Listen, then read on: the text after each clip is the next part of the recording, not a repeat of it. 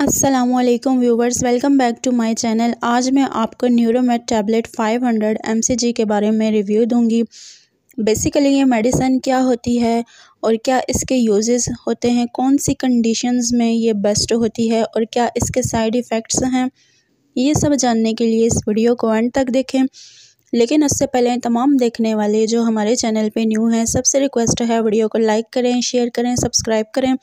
Bell के icon पे click करें ताकि हर नई आने वाली वीडियो का नोटिफिकेशन आपको मिलता रहे। थैंक यू सो मच बात करते हैं न्यूरोमेट टैबलेट 500 एमसीजी के बारे में। ये मार्टिन डो की प्रोडक्शन है और बेसिकली ये मेडिसन यूज़ की जाती है for the treatment of anaemia and vitamin B twelve deficiency के लिए। और इसके अंदर पाए जाने वाले जो इसके इंग्रेडिएंट्स हैं या जो इसका मेन इंग्रेडिएंट है, वो मैकोबालामीन है, जो कि बहुत परफेक्ट होता है बी ट्वेल्व की डेफिशिएंसी को ट्रीट करने के लिए। ये था ओवरऑल इस मेडिसन का इंट्रोडक्शन अब हम बात करते हैं इस मेडिसन के यूजेस के बारे में कि कौन सी कंडीशंस में ये मेडिसन बेस्ट होती है। इस मेडिसन को आप विटामिन बी ट्वेल्व की डेफिशिएंसी में यूज़ कर सकते हैं। बी ट्वेल्व की डेफिशिएंसी क्या होती है?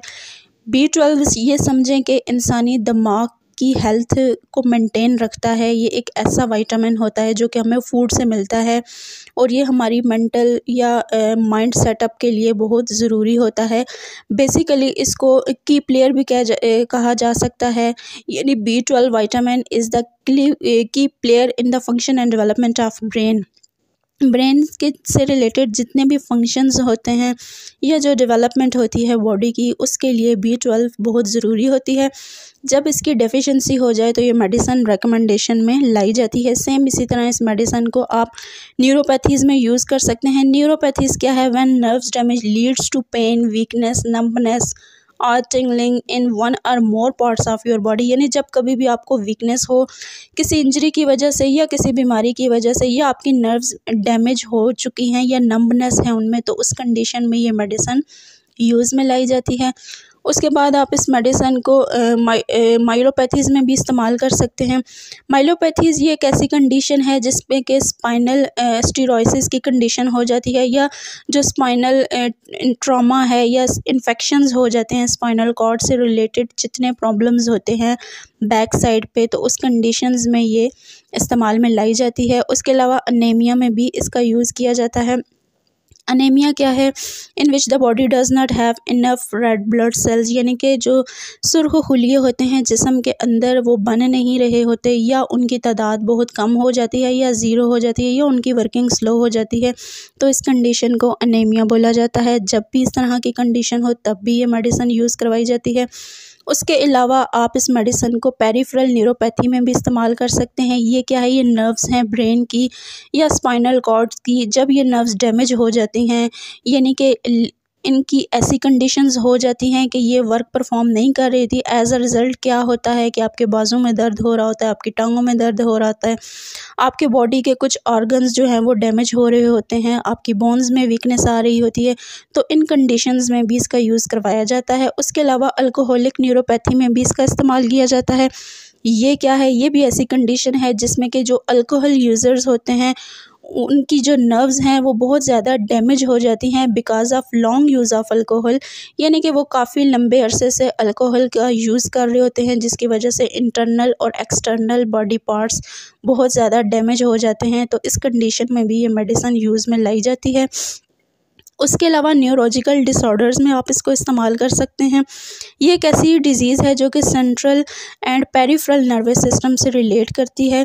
यानी कि इसमें काफ़ी इस तरह की चीज़ें आ जाती हैं जिसमें कि बहुत सारी सवेर किस्म के डिज़ीज़ जो है वो पैदा हो जाते हैं। जैसे एपिलेप्सीज में हो जाती है अल्जीमिया डिज़ीज़ इसमें हो सकती है स्ट्रोक हो सकता है माइग्रेन हो सकता है हेड एक डिसऑर्डर्स हो सकते हैं मल्टीपल सेक्लेरोसिस की कंडीशन हो सकती है पार्किंसंस डिज़ीज़ हो सकती है नर्वस इन्फेक्शंस हो सकते हैं, यानी न्यूरॉन से रिलेटेड जितने इन्फेक्शंस हैं, वो भी हो सकते हैं ब्रेन ट्यूमर की कंडीशन हो सकती है।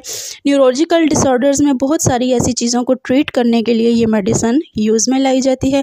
उसके अलावा आप इसको न्यूट्रोट्रॉफिक केराटाइटिस में भी इस्तेमाल कर सकते हैं, ये भी नर्व डैमेज से रिलेट करता है। उसके अलावा आप इसको न्यूराइटिस की कंडीशन में भी यूज़ कर सकते हैं, ये भी नर्वस सिस्टम से लेके ऑन द होल बॉडी की जितनी भी नर्व्स हैं, ज़ाहिर है दिमाग का जिस जिसम के साथ रबता ज़रूरी होता है और इस रबते को मुकम्मल तौर पे बहाल करने के लिए भी ये मेडिसन यूज़ करवाई जाती है ताकि जो रिलेट ऑर्गन्स हैं बॉडी के या जितने भी फ़ंक्शंस हैं वो प्रॉपरली परफॉर्म हो सके। इंसान एक नॉर्मल कंडीशन में दोबारा से जो है वो आ जाए, अपनी जितनी भी सवेयर कंडीशंस होती हैं उसके बाद तो ये मेडिसन बहुत ही हेल्पफुल होती है। आपके तमाम जो इन्फेक्शंस हुए होते हैं या जो डेफिशिएंसीज होती हैं आपके नर्व से रिलेटेड उन कंडीशंस को सॉल्व करने के लिए ये मेडिसन यूज़ में लाई जाती है। ये थे ओवरऑल इस मेडिसन के यूजेस अब हम बात करते हैं कि कौन सी कंडीशंस में इस मेडिसन का यूज़ नहीं करना चाहिए। अगर आप ब्रेस्ट फ़ीड पे हैं, तब भी आप इसका इस्तेमाल ना करें। अगर आप प्रेग्नेंट हैं, तब भी आप इसका यूज़ ना करें। अगर आप अल्कोहल यूज़ हैं या आपके वर्किंग आवर्स ज़्यादा हैं तो उस कंडीशंस में भी आप इस मेडिसन के यूज़ करने से परहेज़ करें या अपने फिजिशियन से कंसल्ट करें। और ख़ास तौर पर ऐसे मरीज़ जो कि हाइपर सेंसिटिविटी का सवेयर रिएक्शन रखते हैं, वो भी इसके यूज़ से पहले अपने फिजिशन से कंसल्ट कर लें। ये थे इसके नॉट यूज़ अब हम बात करते हैं इस मेडिकेशन के साइड इफ़ेक्ट्स के बारे में कि अगर आप ये यूज़ करते हैं तो आपको क्या क्या साइड इफ़ेक्ट्स हो सकते हैं। इसमें आपको नाजिया की कंडीशन हो सकती है, इसमें आपको वोमिटिंग हो सकती है साइड इफ़ेक्ट्स में। उसके अलावा इसमें आपको एलर्जिक रिएक्शंस हो सकते हैं, यानी स्किन पे आपको कोई एलर्जी शो हो सकती है डायरिया हो सकता है आपको हेडेक की कंडीशंस हो सकती हैं डिज़ीज़ नस की कंडीशन हो सकती है। यानी आप इसमें गनूदगी भी महसूस कर सकते हैं, आप इसमें थकावट भी महसूस कर सकते हैं। उसके अलावा जितने भी ओल्ड एज अफराद होते हैं, उनमें साइड इफ़ेक्ट्स ज़्यादातर जो है वो ये देखे गए हैं कि वो ये समझते हैं कि उनकी बॉडी में सवेर किस्म का पेन होता है। ये भी कुछ साइड इफ़ेक्ट्स में कुछ मरीज़ों में नज़र आया है।